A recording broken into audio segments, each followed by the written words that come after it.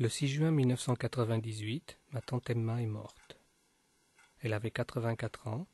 C'était la dernière occupante d'une maison où elle était entrée en 1937, date de son mariage. Désormais, les pièces seront vides. Chaque matin, les volets resteront fermés et la propriété sera peut-être bientôt vendue à des Anglais. Les Anglais aiment bien le sud-ouest de la France pour y passer leurs vacances. Alors avant que tout ne disparaisse, pendant que toutes les armoires sont encore pleines, que tous les cadres sont encore au mur, je décide de les filmer, car c'est la maison où je suis né.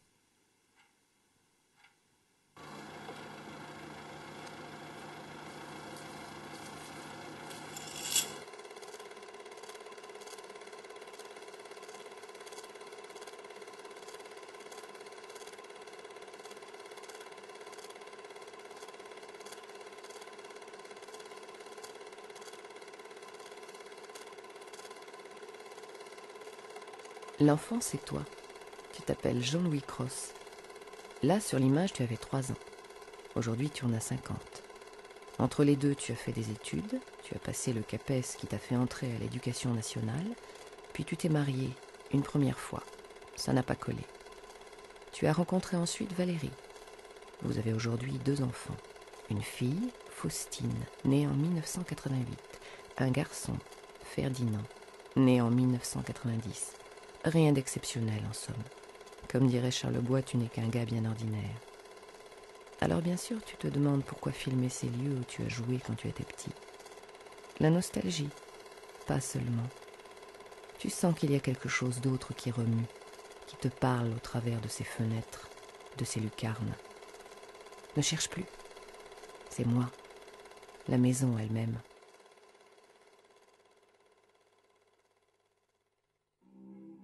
Avant que ma tante Emma ne meure, cette maison était pour moi la sienne. Quand je lui rendais visite le dimanche ou aux vacances, chaque objet me renvoyait à son souffle court et son corps maigre de vieille femme.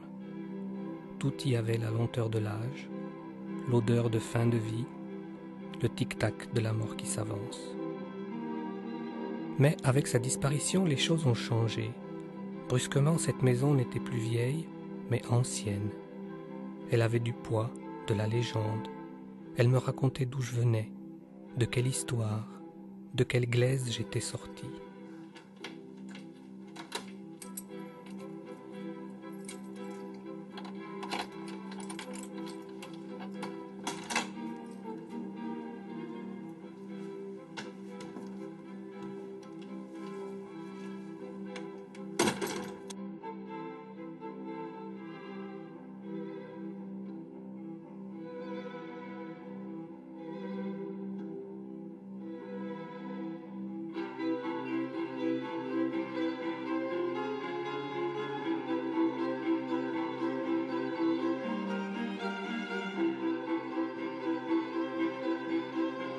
La glaise du midi de la France, c'est sûr.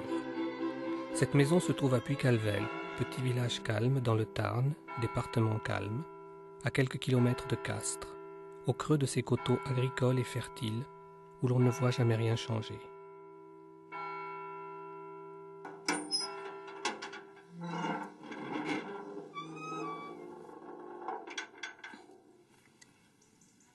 Alors, puisqu'il faut bien commencer quelque part, je me dis que la première étincelle préliminaire à ma naissance a peut-être eu lieu ici, le jour où mon grand-père est rentré chez lui, après ses quatre années passées à l'usine d'armement.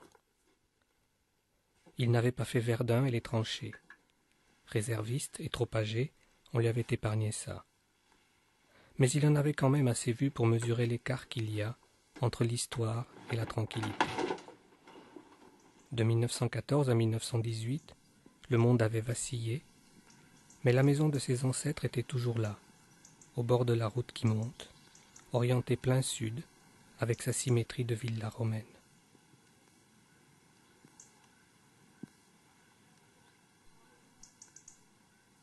Le portail vert de l'étable n'avait pas changé non plus, ni la treille qui l'ombrageait.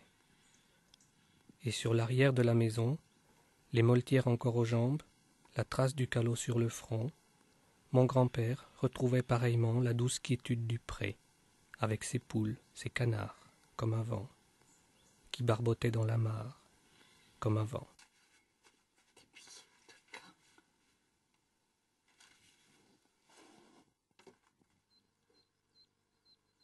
Non, rien n'avait changé, se disait-il. Tout juste ses trois enfants auraient grandi depuis sa dernière permission, et Marie, sa femme, ma grand-mère, aurait seulement quelques pas de doigts supplémentaires au coin des yeux. Déjà quinze ans qu'ils étaient passés devant monsieur le curé.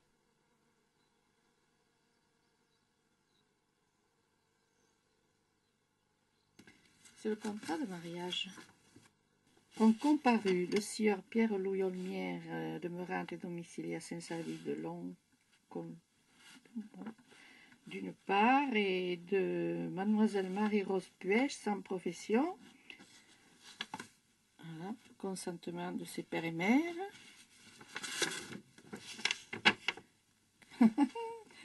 un édredon, une oreiller, couette, un couvre-pied, rideau et sur-ciel. Ah, ça, c'est rigolo. C'est alors que mon grand-père avait décidé qu'il en avait assez de cette quiétude interminable. C'était un énergique, mon grand-père. Or, il n'avait pas encore quarante ans en 1918, et il n'avait déjà que trop laissé filer sa jeunesse à l'époque d'avant la guerre. Alors, face au jardin potager qui dévalait devant la maison, il se disait qu'il y avait là de la place pour autre chose que des poireaux, de la place pour bâtir, pour construire des temps nouveaux, car, dans son usine d'armement, il avait vu que dorénavant, c'étaient les machines qui mèneraient le monde.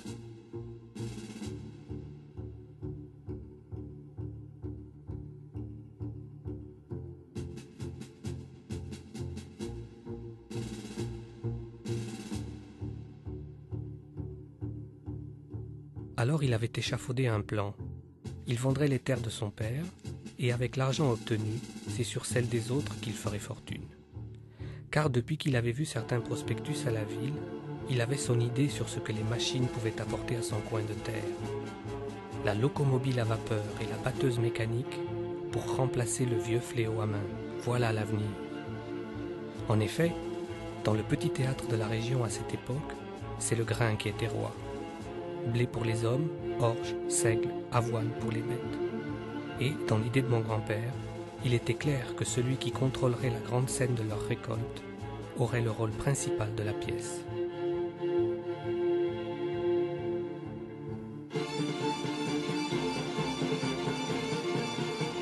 À partir de là, ce sont les courriers, les factures, les livres de comptes retrouvés au grenier qui précisent les antécédents de ma venue. Les débuts sont approximatifs. En 1919, mon grand-père commence avec du matériel d'occasion, mais l'été 1920 est celui de sa vraie première tournée, du 13 juillet au 10 août, de ferme en ferme, avec deux journaliers embauchés pour les circonstances.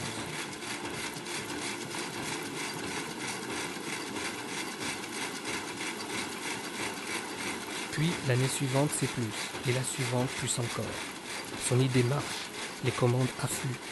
Mon grand-père n'est plus un paysan et il change alors de prénom. Plus personne ne l'appelle Pierre-Louis, mais Louis. Est-ce que ça fait mieux Moins gamin Plus monsieur?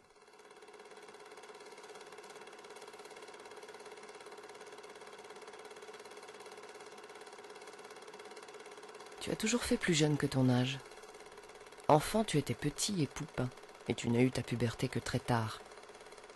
De sorte qu'à l'adolescence, tu te souviens qu'une fois un copain de lycée t'avait traîné dans une boum où il devait y avoir des filles. Quand vous avez passé la porte, l'organisateur de la fête s'était exclamé en te voyant, mais à l'intention de celui qui t'amenait Tiens, tu dessales crosse maintenant. C'est sûr, sa voix était celle de quelqu'un qui craint pour la réputation de ses après-midi dansantes. Une autre fois, c'était pourtant en été, quand les gens se promènent à moitié nus. Tu avais entendu deux types dans la rue se retourner après ton passage. Ils se demandaient si tu étais un garçon ou une fille. Tu en as été mortifié. Pendant des mois, tu as haï ton visage de mignon. Et ton pire souvenir de jeunesse est sans doute que tous les garçons de ton âge, depuis la maternelle jusqu'au bac, t'ont toujours surnommé Petit Crosse.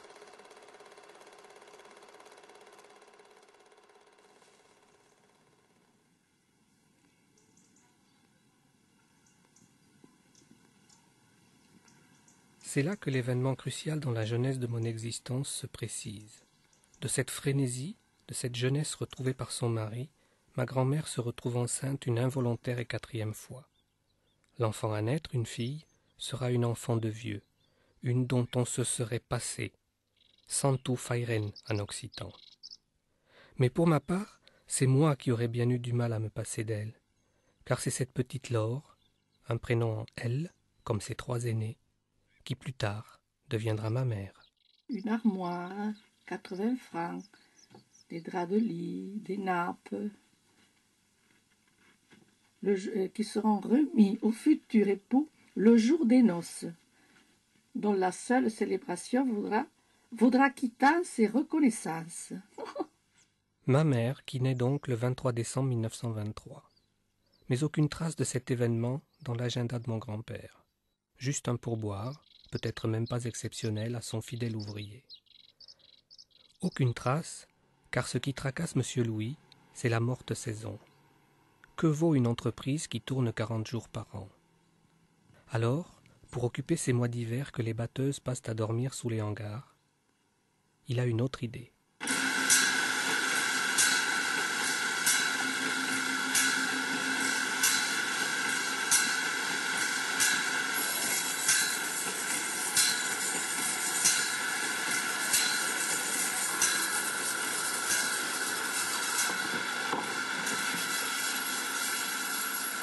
Une scierie.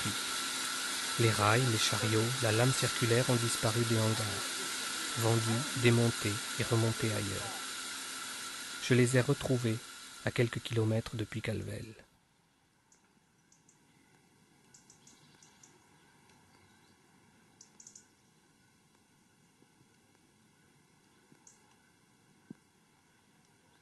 Quel sens pouvait avoir pour mon grand-père le fait de posséder cette installation?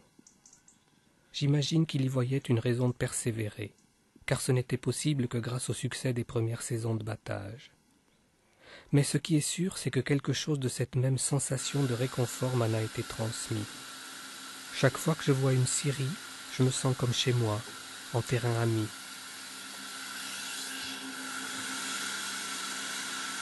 Aujourd'hui, elle m'apparaît surtout bien plus petite que dans mes souvenirs d'enfant.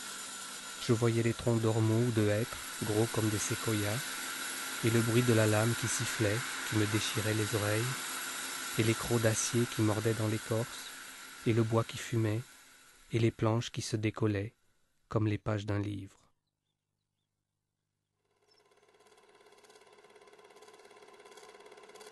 Quand tu as eu 18 ans, tu t'es acheté une moto, noire, une des premières japonaises qu'on voyait par chez nous. Et la même année, tu as eu ta première vraie fiancée. Jolie, mais toute petite évidemment. Tu n'as eu que des femmes petites. Plus qu'une vraie aventure, c'était un flirt. Très tendre et très poussé. Mais jamais vous n'êtes allé jusqu'au bout. Faire l'amour avec elle ne te venait pas à l'idée. C'était comme interdit.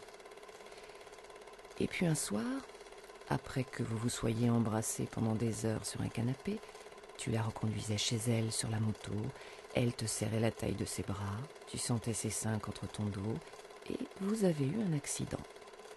Il y a eu un coup de frein, un choc terrible, et vous avez atterri sur le pavé de la rue Alsace-Lorraine à Toulouse à deux heures du matin. Tu étais à moitié assommé. Un type en voiture s'est arrêté, s'est approché.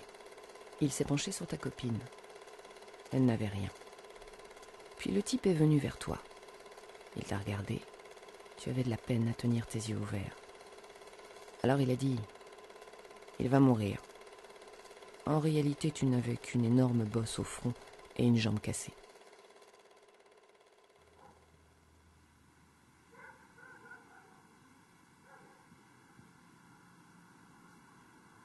Des planches, il en reste aujourd'hui partout autour de la maison, comme une bibliothèque inachevée, endormi depuis le jour où l'entreprise a fermé. C'était en 1970, quand le deuxième Louis de la maison, mon oncle, le frère aîné de ma mère, a pris sa retraite.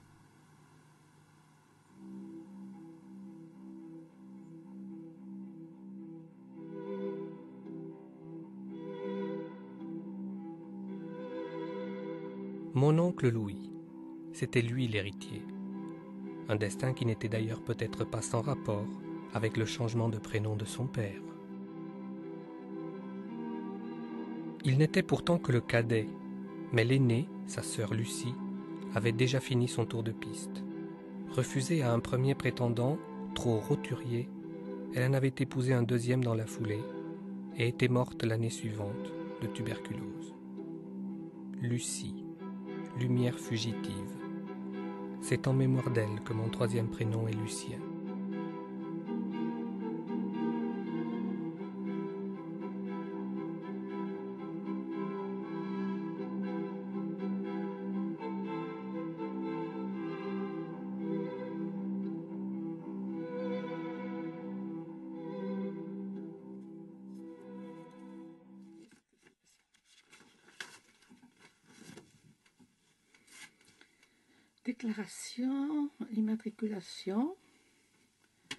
Déclaration fin d'immatriculation déposée le 11 mars 1944. Le sous-signé Olmière Louis, puis né le février 1909 à Pucalveltal, français, d'origine arienne, ni de race ni de confession juive, non juive. Et si c'était aussi à ces quelques mots, sur cette feuille de papier, que je devais d'exister exploite depuis l'année 1936, déjà inscrit au registre des métiers comme entrepreneur de battage à Picalvel. En 1936, mon oncle, Louis Olmière, deuxième du nom, était donc devenu chef d'entreprise à 27 ans. Bien sûr, mon grand-père était encore là, en retrait, mais pas en retraite. Dans les années 40, il lance même une dernière activité complémentaire pour les jours d'hiver, un moulin à farine électrique. Moudre le grain, après l'avoir récolté pour tous les paysans de la région, voilà sans doute le dernier coup inventé par mon grand-père, à qui la soixantaine approchante n'enlève rien de son appétit.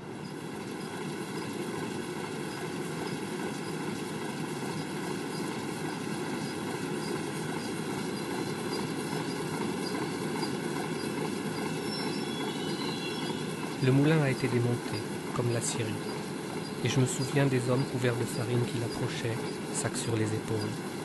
Je me souviens de leur allure courbée, de leur regard par en dessous quand ils gravissaient dans le vacarme des moteurs, les quatre marches du petit escalier de bois. Je me souviens aussi d'un petit tourniquet surmonté d'une tête de cheval en bois sculpté qui tressautait au-dessus de l'ouverture par où coulait la farine. On aurait dit de l'eau ou du lait.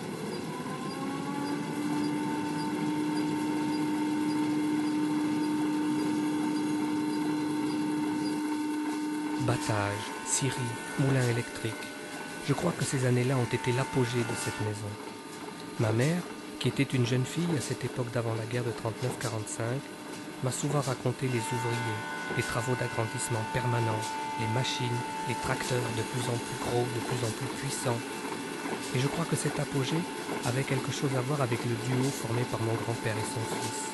C'était comme un pacte, un trait fort de continuité masculine en quelque sorte incarné par le pouvoir moderne des machines. Bien cher papa, je viens de voir monsieur Oulmière pour le tracteur en question. Le tracteur est en bon état. Son prix est de 700 000 francs.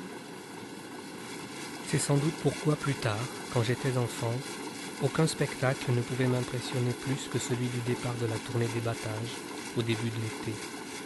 Mon grand-père n'était alors plus qu'un vieil homme qui avait définitivement passé la main, mais quelque chose de cette alliance puissante entre lui et son fils devait résonner encore dans la sourde pulsation du tracteur vert de marque Lance.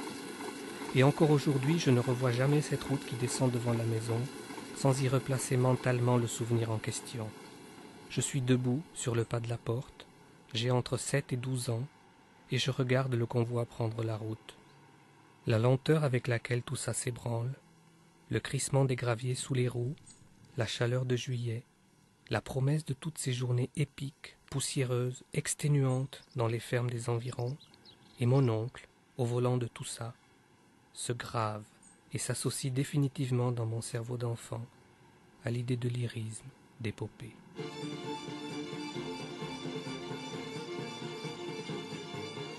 Aujourd'hui, j'ai 50 ans et c'est toujours une pièce du puzzle qui constitue ma personne. Une image indissociable de tout ce qui peut évoquer la puissance des hommes et de la terre, des saisons et du travail, des vies et de la nature.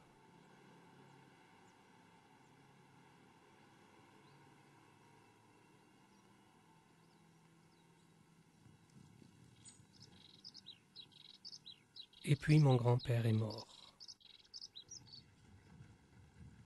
Je me souviens de la dernière fois où je l'ai vu. C'était en 1960, j'avais dix ans. C'était un dimanche gris vers six heures le soir. Il était assis, vieux, fatigué sur un rebord de pierre, sa canne à la main. Il me regardait, et quelque chose m'a dit tout d'un coup que c'était la dernière fois que je le voyais. C'est fini, me disaient ses yeux silencieux. Et je sais maintenant qu'il ne pensait pas seulement à sa vie. Ce qui était fini, c'était les battages, la scierie, le moulin, tout. Car son fils, mon oncle, n'avait pas eu d'enfant. D'autre part, nous, mon frère et moi, les seuls descendants de la maison, étions déjà des petits de la ville. C'était clair, jamais nous ne reprendrions le flambeau.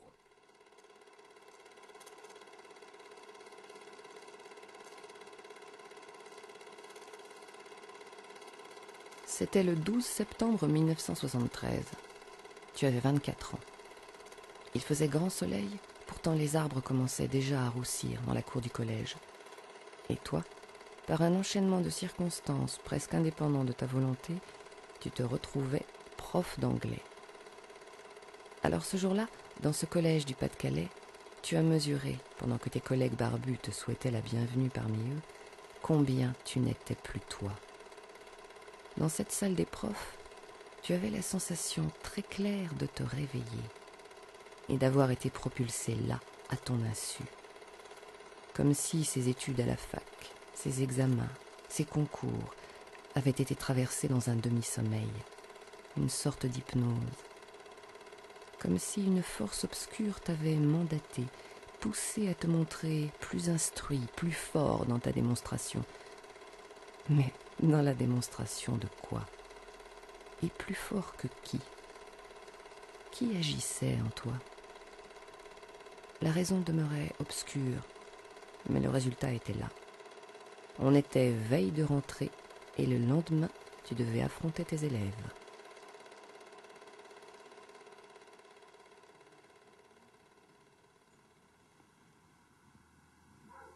Cinq ans après la mort de mon grand-père, mon oncle remisait définitivement les batteuses sous les hangars. Il n'en reste plus aujourd'hui que trois tamis de bois.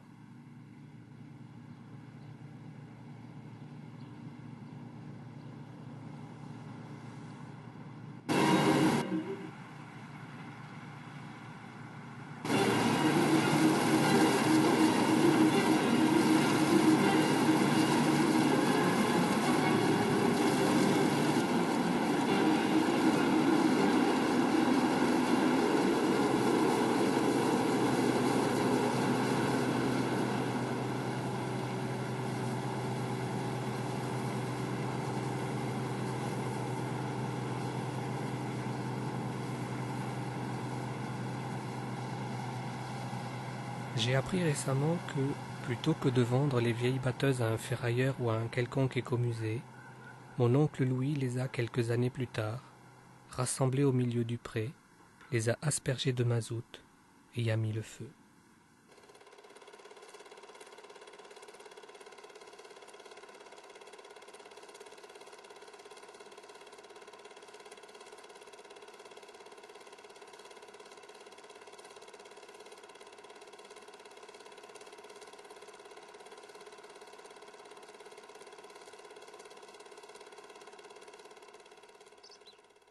Aujourd'hui, mon oncle est mort aussi.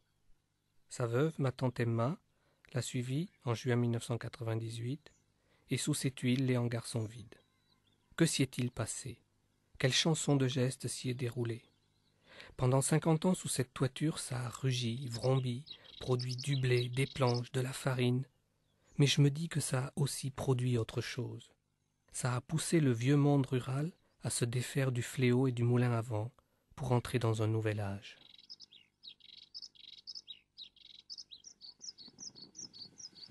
Allez, on recule, on le refait. Et le passage de l'arbre, là, il est... Et ce nouvel âge, qui est-il, sinon nous qui en sommes issus Nous qui vivons aujourd'hui en ville, qui n'avons plus besoin de rouler des troncs d'arbres pour vivre, qui avons des allures de Parisiens, des mains lisses, des ordinateurs, des caméras pour filmer. Est-ce que notre capacité à manipuler ces outils, l'informatique, les images, nous la devrions alors avant toute chose au fait que ces hangars, cette maison, sont aujourd'hui vides et morts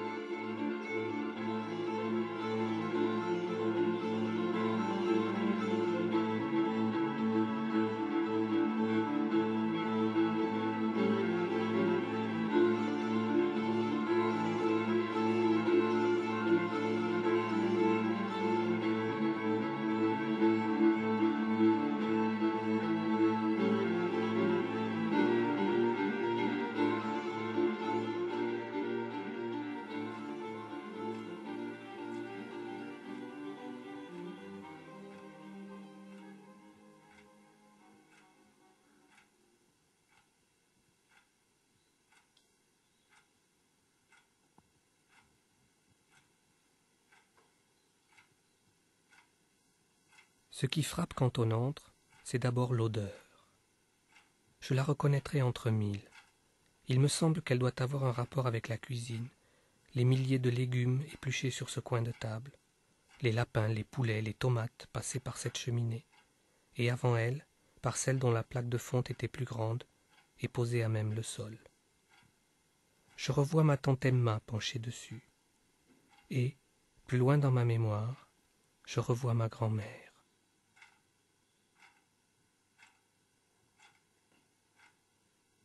On dit que ces deux-là ne s'aimaient pas beaucoup. Belle-mère, belle-fille. Trente ans de cohabitation forcée, de rancœur ravalée. Mais sans que jamais rien ne soit dit. Plutôt des mois de silence que le moindre haussement de ton. Tout dans le non-dit, quitte à en. Et cette habitude de la colère sourde a-t-elle aussi infusé ma personne, moi qui n'ai jamais su m'affronter violemment avec qui que ce soit? Difficile à dire. Je réalise alors combien ces femmes, ma grand-mère en particulier, ont laissé peu de traces pour guider mon voyage à remonter le temps. Pas une lettre, pas un mot, très peu de photos. Savait-elle écrire? Je demande à ma mère. Bien sûr, me répond-elle, mais elle ajoute, comme pour l'excuser, simplement son travail était ailleurs.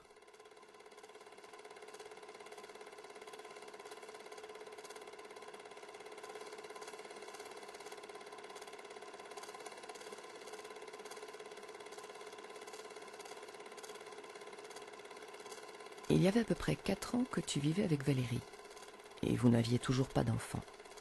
Hormones, spermogramme, divorce de ta première femme, rien n'y faisait. Alors, tu étais allé voir une spécialiste de la médecine chinoise. C'était à Paris, dans le 15e, un soir d'hiver. Et tu t'attendais plus ou moins à de l'acupuncture. Mais c'est tout autre chose qui arriva.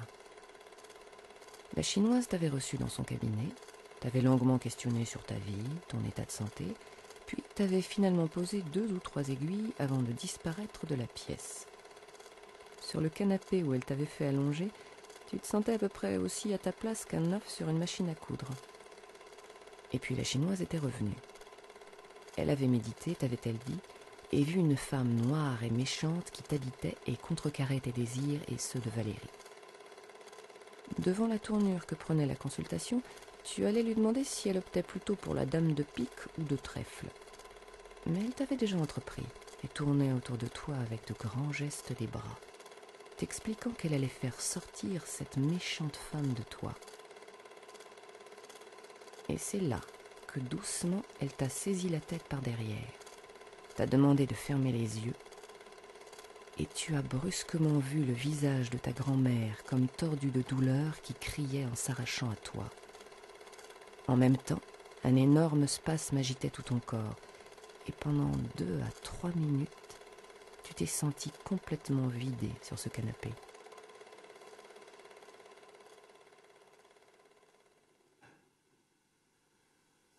Ailleurs, ma grand-mère. Mais où?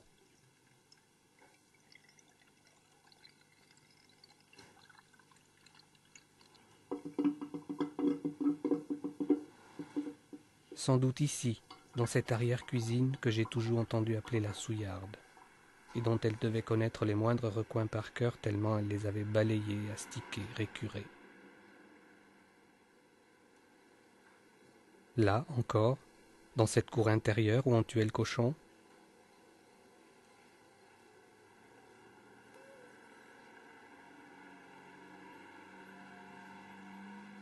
Ou dans ce poulailler où elle distribuait le grain, relevait les œufs.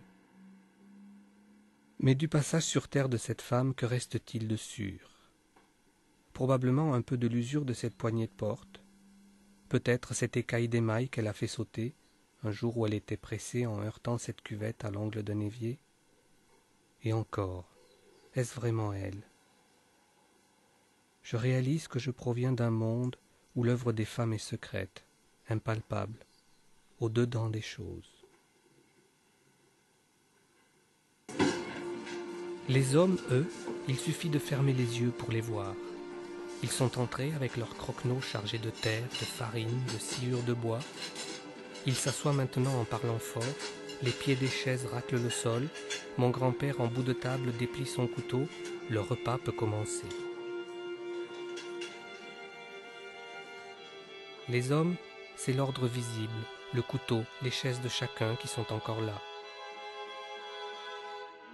Mais les femmes, quel courant d'air a conservé la mémoire des mille pas de ma grand-mère qui va et vient, des fourneaux à la table, dépose le plat, repart chercher le pain, signe la miche de la pointe du couteau avant de l'entamer? Où est passé le son de sa voix, l'éclair de son regard pour signifier aux deux filles qui lui restent, depuis la mort de Lucie, l'aînée, de ne pas rester plantées là, sans rien faire?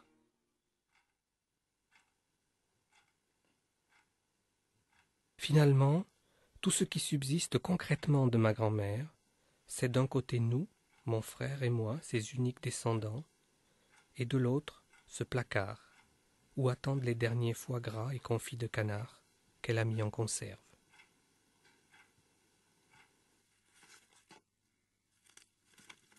Tiens, une recette de cuisine. C'est maman qui a écrit ça. C'est son écriture. Pour faire la confiture, prune ou cerise, 750 g de sucre, un verre d'eau, par 750 g de sucre. Prendre deux œufs, séparer le blanc des jaunes, bien mélanger les jaunes avec 80 g de sucre en poudre, ajouter une pincée de sel, monter les blancs en neige, les mêler à la pâte, ajouter 30 g de farine, bien mélanger le tout et plonger une cuillerée à café de levure alsacienne. Ne pas ouvrir le four avant 15 minutes.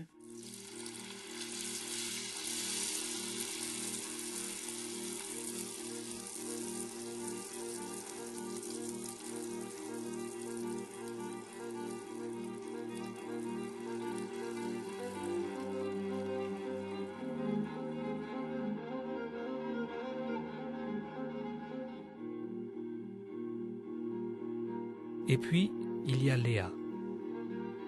Léa, la deuxième sœur de ma mère et la plus proche d'elle par l'âge. Elle, sous cet angle du palpable, aura laissé encore moins de traces que sa mère.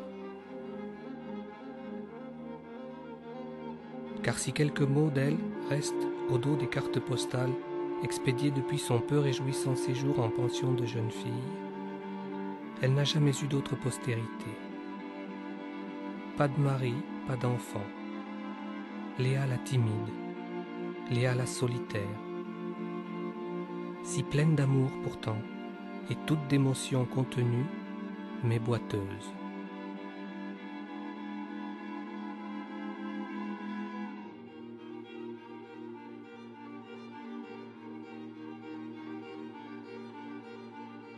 Je la revois longer ce couloir, infirme de sa jambe gauche et de son œil droit.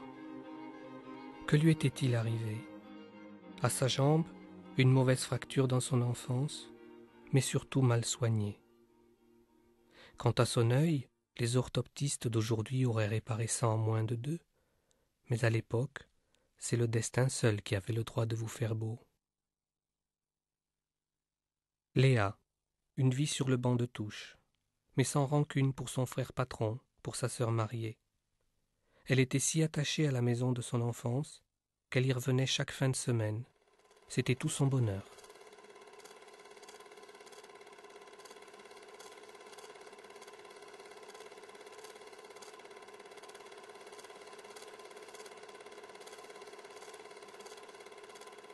Tes rapports avec les gens s'accompagnent souvent pour toi d'un sentiment de culpabilité, tu as presque toujours l'impression de leur devoir quelque chose, comme une excuse d'être là.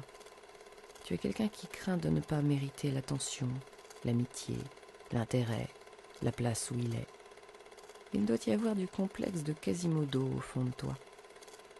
Quand tu t'es séparé de ta première femme et avant que tu ne fasses la connaissance de Valérie, tu as traversé la plus grande crise de ta vie. Tu avais complètement perdu le peu qui te restait de confiance en toi. Alors, un samedi soir, au comble du doute, tu as voulu aller voir les putes au bois de Boulogne. Mais même là, tu as eu honte de toi, de ton corps. Tu t'es senti flasque, difforme. Tu n'as pas réussi à t'approcher.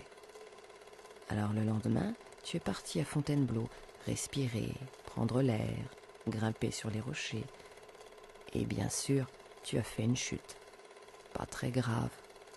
Trois ou quatre mètres mais suffisante pour que, une deuxième fois, la même jambe soit cassée. La gauche, celle de l'accident de moto, la même que Léa.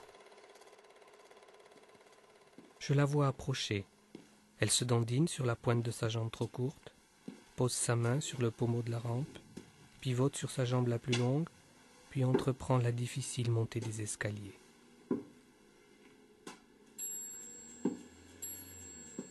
Les étages, on ira. Mais d'abord, il faut faire un détour par le salon, de l'autre côté du couloir.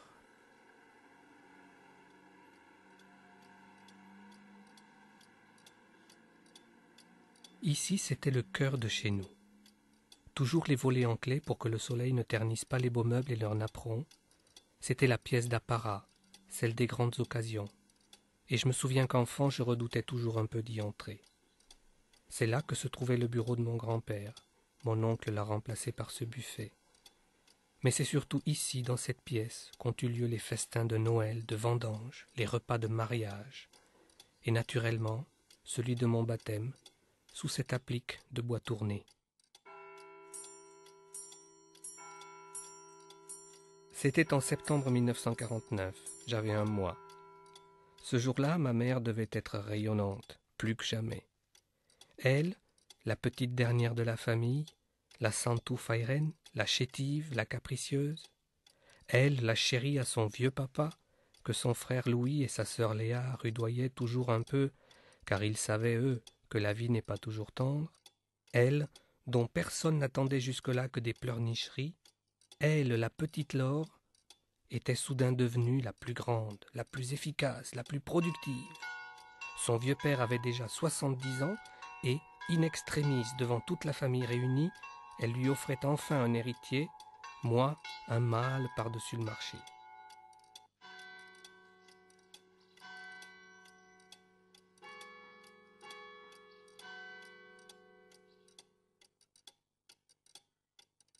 Comment tout cela était-il arrivé? Deux ans auparavant, ma mère avait connu mon père au bal. Encore un Louis. Tous ces Louis dans ma famille mon grand-père, mon oncle et mon père enfin. Mais celui-là n'était pas un paysan, c'était le nouvel instituteur du village. Aussitôt, ma mère et lui s'étaient plu, et presque immédiatement, ils s'étaient mariés. Ce jour du baptême, donc, j'imagine mon grand-père avec sa chaîne de montre assis en bout de table, et à l'autre bout, ce bébé, moi, quatre kilos de chair rose emmailloté de blanc, qui gigote et braille. Quand ma mère me dépose dans mon berceau, le plus âgé des trois Louis débouche la première bouteille en riant, mais il a les yeux mouillés. Il se dit qu'il commençait à désespérer d'être un jour grand-père.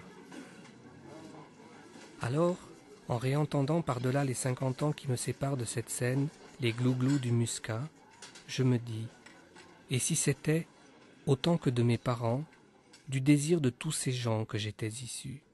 Si j'étais fait, par-delà l'union charnelle de la délicate Laure et de Louis l'instituteur, de la jambe trop courte de ma tante Léa, de la mort précoce de mon autre tante Lucie, du couple stérile de Louis et d'Emma, si j'étais fait de cette attente muette, mais si pressante, qui devait se lire jour après jour dans l'œil de tous ces gens.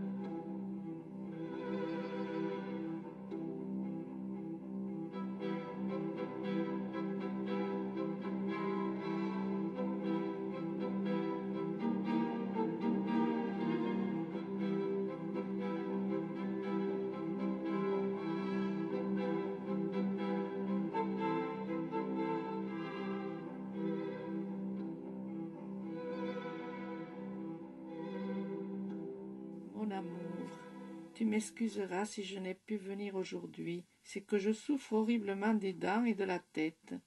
Depuis près de quinze jours, je suis malade. Ça va passer, mais en attendant, ça me fait souffrir. Je suis resté presque toute la journée couché. Pourquoi mon oncle Louis et sa femme Emma n'ont-ils jamais eu d'enfant? Il me semble avoir entendu dire que c'est lui qui était stérile. Quelque chose comme les oreillons quand il était enfant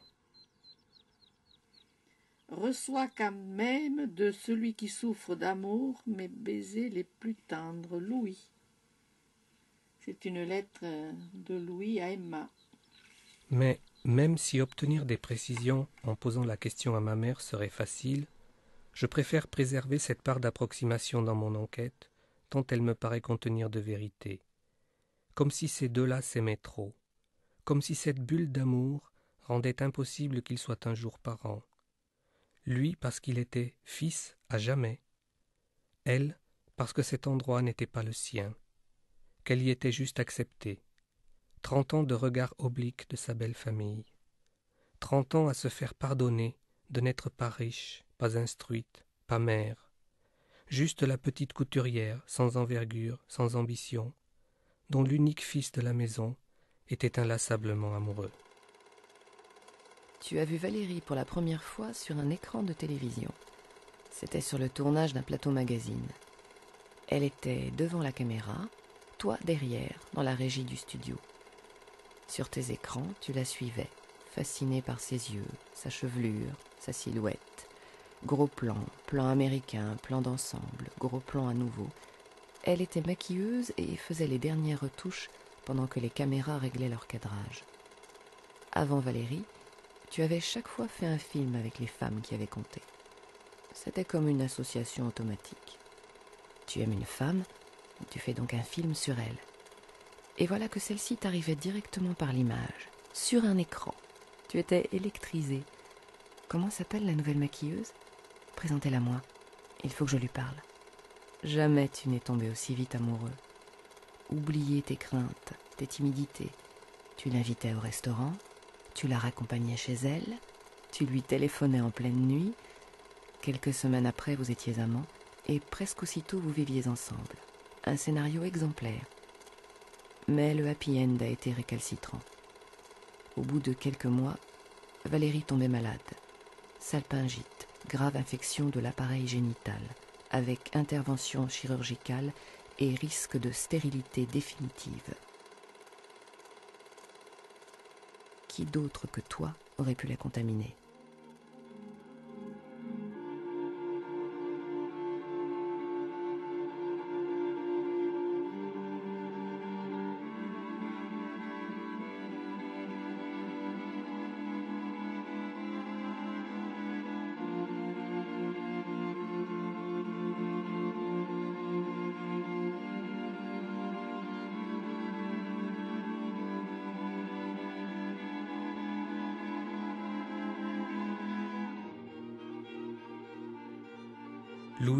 S'étaient mariés en 1937.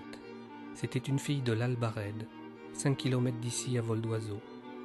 Mais probablement déjà pour ma grand-mère, 5 km, c'était suffisant pour faire d'elle à jamais une étrangère. Sans doute parce qu'elle avait rêvé un meilleur parti pour son fils.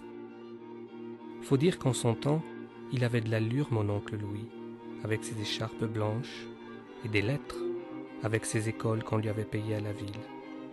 Tous les fils depuis Calvel n'allaient pas au collège à cette époque, loin de là.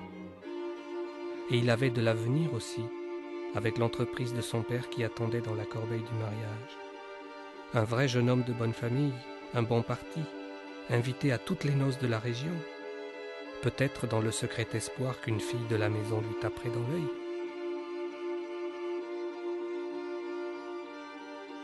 Et la chose s'est produite, semble-t-il, au moins une fois, une certaine Émilie.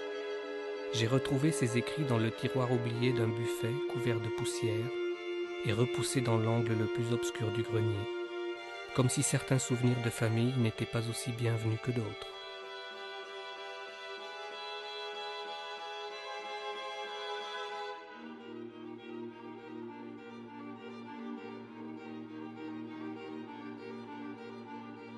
Et puis, que s'est-il passé? Est-ce lui? Est-ce elle Est-ce Emma qui est arrivée Émilie Emma Émilie vaincue par Emma L'amour vrai triomphant de l'amour arrangé, comme dans les romans de toujours Qui sait Qui se souvient? Aujourd'hui plus personne. Juste moi, cinquante ans après, qui rêve encore d'amour.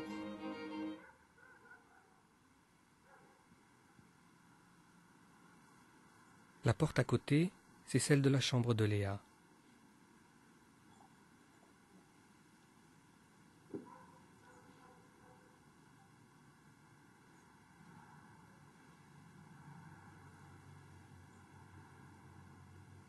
Et puis en face, c'est la chambre de ma mère, la chambre où je suis né.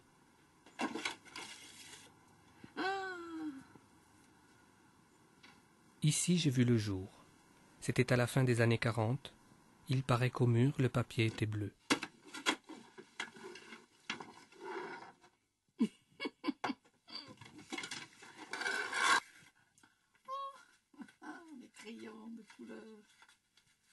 Qui est ma mère? La petite dernière de la famille, je l'ai déjà dit. Alors qui est-elle à part ça?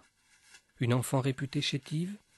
Peut-être la mascotte, vaguement jalousée d'un père vieillissant? Ça aussi je l'ai déjà dit.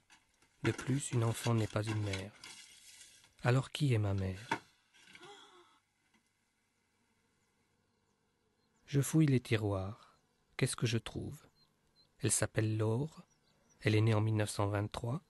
Elle n'a pas fait beaucoup d'études.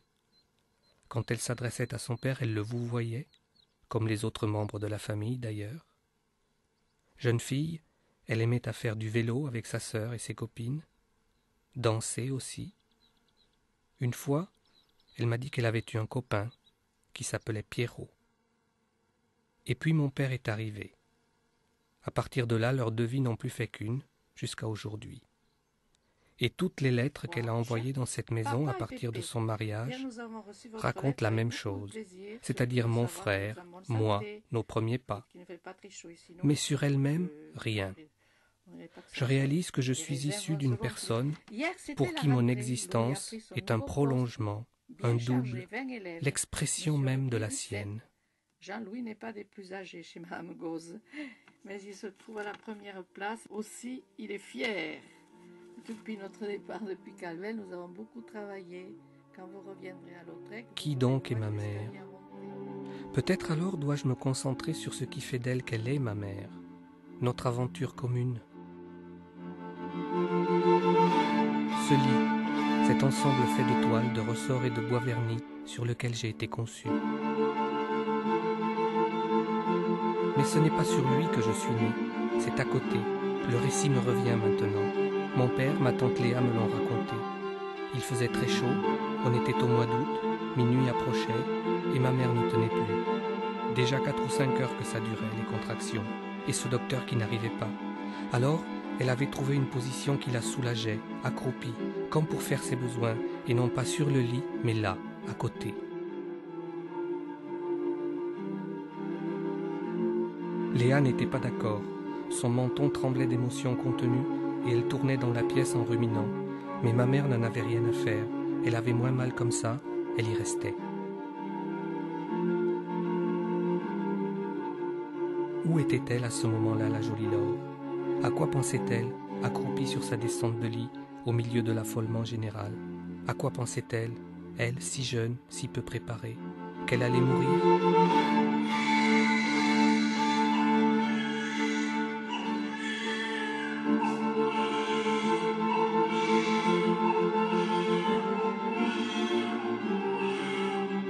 Et moi, pendant ce temps, dans ce mi-temps, ce sillon entre ses jambes, entre le sommier et le mur, entre le 21 et le 22 août, je prenais lentement pied sur cette terre.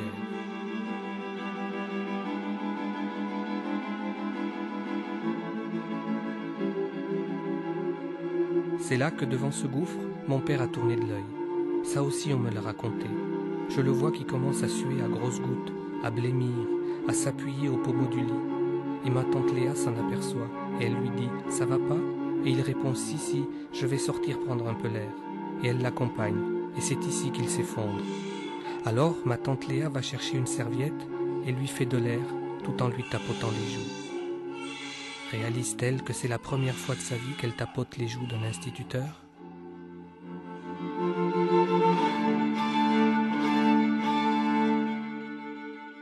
Finalement, le docteur est arrivé, chapeauté, botté, un vieux médecin militaire dans cette nuit d'après-guerre.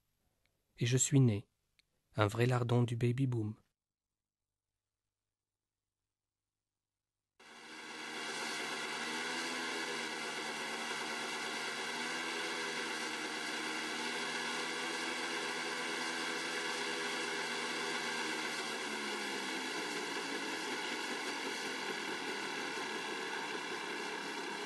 Souvent les enfants ont une deuxième mère.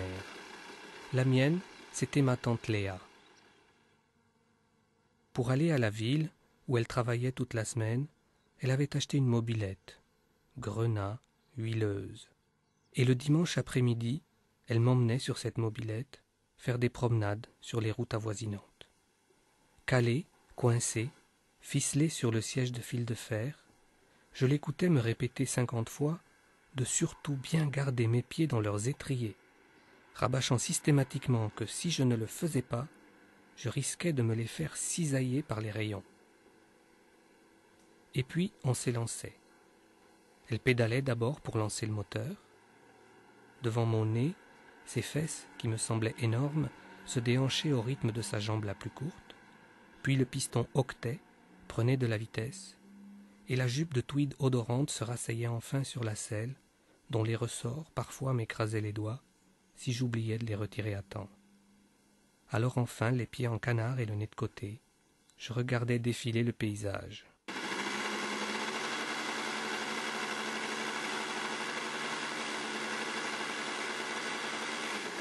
Pourquoi ce souvenir plus que l'autre Pourquoi ne puis-je jamais passer aujourd'hui par cette route sans me revoir, bonnet jusqu'aux yeux, orteils écartés à me dévisser les chevilles, mais fasciné par le défilement des arbres, des blés, des vaches?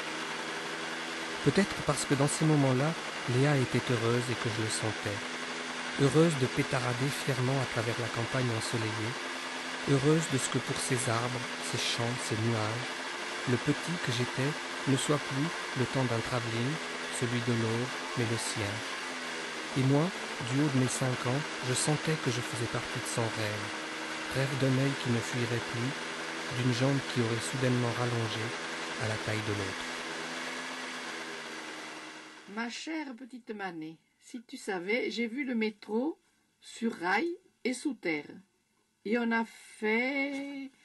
Puis j'ai vu l'escalier roulant, on y est monté deux fois. Quand on est arrivé au bout, je patinais. et enfin, on est monté dans l'ascenseur. On y est monté à peu près cinq ou six fois. Et après-demain, on ira au zoo. Et lundi, à la Tour Eiffel. On montera au deuxième.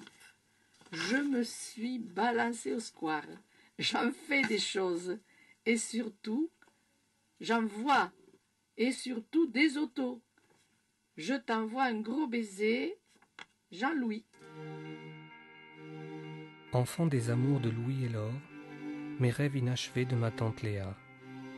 Héritier des idées de grandeur de mon grand-père, mais soumis et déraciné comme ma tante Emma porteur du prénom de lumière de ma tante Lucie, mais faible et amoureux comme fut mon oncle Louis. Et si j'étais tout cela, si le visage tordu de douleur de ma grand-mère, qui avait surgi devant moi chez la chinoise, n'était pas le seul à dormir au fond de moi.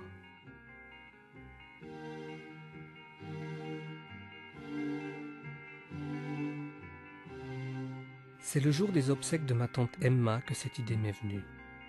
Devant la tombe où sa femme le rejoignait, je me demandais ce que cet homme, mon oncle, avait bien pu penser la nuit de ma venue au monde, moi son non-fils. D'où fluait, à la voix de femme, avec ses dessins, ses photos qu'il faisait quand il était encore un beau jeune homme. Il était tendre, rêveur, et se voyait artiste, m'a souvent dit ma mère. Mais à cette époque on ne discutait pas.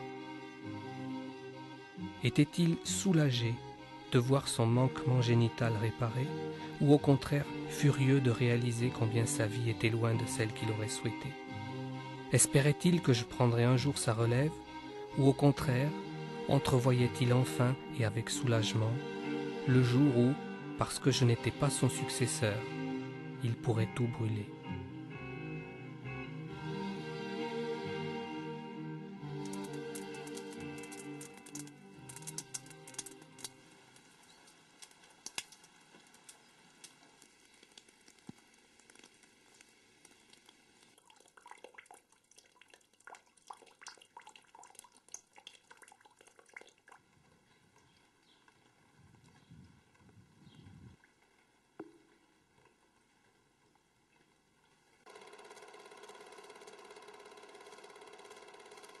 Quelques années après que Valérie soit sortie de l'hôpital, vous avez eu, elle et toi, deux enfants. Ils sont encore petits. Mais quand ils seront grands, que leur restera-t-il de moi? Quelle chose Quelle cellule de mes briques? Quelle bribe de quelle histoire vécue entre mes murs? Celle de Pierre-Louis? De Lucie? De Léa? Quelle force transitée par toi leur sera transmise de moi? L'obscur, par laquelle je voulais te retenir, t'empêcher de grandir, ou l'autre, illuminé du soleil des batteuses. Quels souvenirs garderont-ils de moi?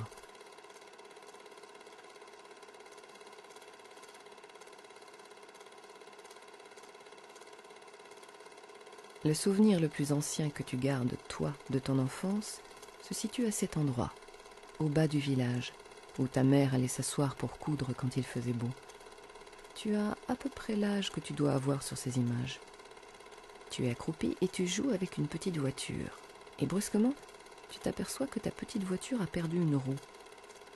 C'est alors que ton souvenir s'arrête. La suite ne veut pas venir. Ta voiture n'a plus de roue, c'est tout. Tu te revois te demander où est passée ma roue. Et puis plus rien. Ta mémoire se bloque c'est la fin du souvenir. Plus que le fait de ne pas savoir si tu as ou non fini par retrouver cette foutue roue, ce qui t'agace est de constater cet obsédant blocage, cet arrêt sur l'image d'un morceau manquant. Arrêt sur l'image.